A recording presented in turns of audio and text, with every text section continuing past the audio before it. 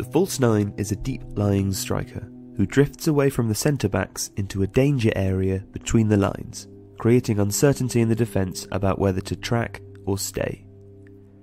While the term was popularised by Pep Guardiola's use of Lionel Messi in the role with Barcelona and Cesc Fabregas's similar function for Spain at Euro 2012, the idea that a striker can cause havoc between the lines was popularised by the so-called Danube school in the 1930s and was also used by the magical Magyars of the 1950s.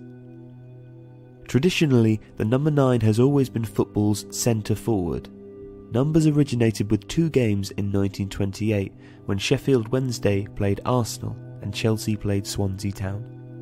In both instances, the 9 took up the central most advanced position in the 2-3-5 formations. While numbering varies across continents in defence and midfield, 9 is an accepted shorthand for a team's central striker. A normal 9 leads, playing on the shoulder of the defence or holding up the ball and looking to bring midfielders in or a deep lying striker into the game.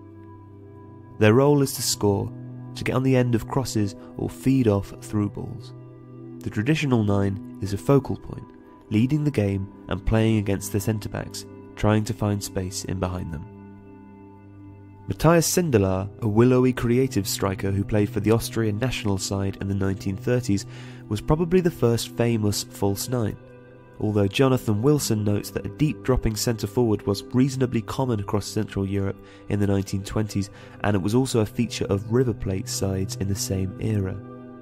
Sindelar's frame was not ideal for the physical man marking utilised by sides at the time, and so he dropped off to find space and bring his wingers and inside forwards into the game.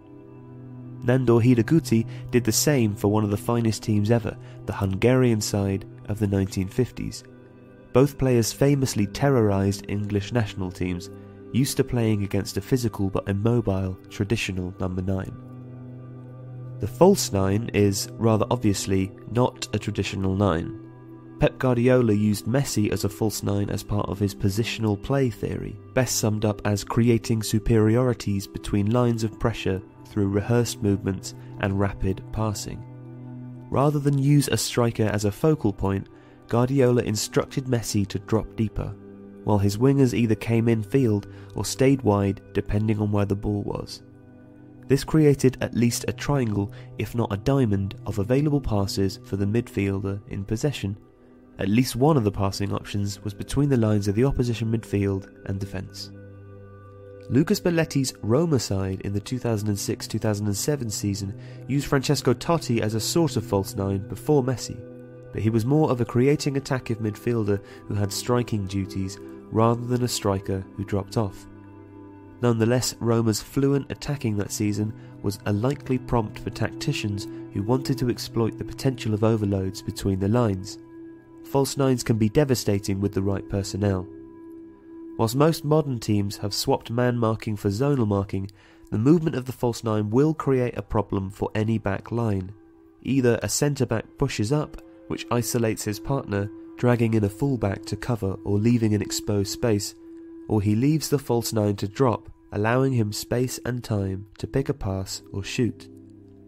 A midfielder could drop to pick up the false nine, but that creates another overload further up the pitch. Either way, players who find space and receive the ball between the lines will cause problems for the opposition. While a greater need for compactness, the rise of pressing and the return of three or five man defences has seen fewer pure false nines in recent seasons, the best centre forwards, such as Diego Costa and Zlatan Ibrahimovic, have incorporated dropping off to find the ball in their repertoire. Indeed, it's fair to say that the new real nine has been significantly influenced by its false cousin. If even Andy Carroll can learn to drop deep, the days of the classic number nine might just be over.